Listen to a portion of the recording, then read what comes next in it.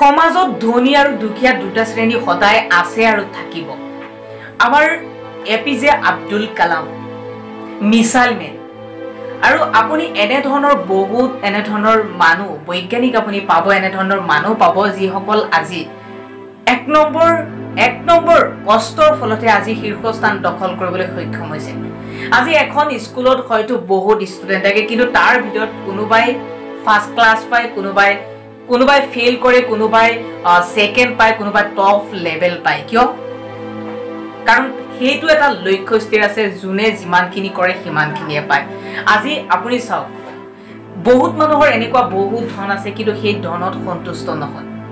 গতিকে আপুনি যদি এটা লক্ষ্য স্থিৰ আপুনি এটা যদি স্থান এটা পাব বিচাৰিছে বা আপুনি এটা সপোন পুহি ৰাখিছে এই কামটো কৰিব তেনেহ'লে আপোনাৰ বাবে সেই কামটো কৰাৰ বাবে বা সেই কামটো ছাকচেছফুল যদি আপুনি কৰিব বিচাৰিছে তেনেহ'লে আপোনাৰ বাবে একাগ্ৰহতা আৰু মনোযোগ অত্যন্ত গুৰুত্বপূৰ্ণ।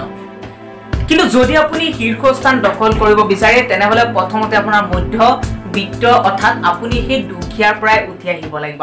আজি চাওক যিমানবোৰ আজি এ পি জে আব্দুল কালামৰ কথাই কওক তেওঁ আজি তেওঁৰ বেকগ্ৰাউণ্ডটো চাওক ক'ৰ পৰা উঠি আহিছে? আজি শীৰ্ষস্থানত আছে আৰু সকলোৱে তেওঁৰ কথা মনত পেলায় আৰু মিছাইল মেন বুলি আজি সকলোৱে চিনাকি সকলোৰে চিনাকি সমগ্ৰ ভাৰতবৰ্ষত নহয় গোটেই পৃথিৱীৰ মানুহে তেওঁক চিনি পায়। কিয়?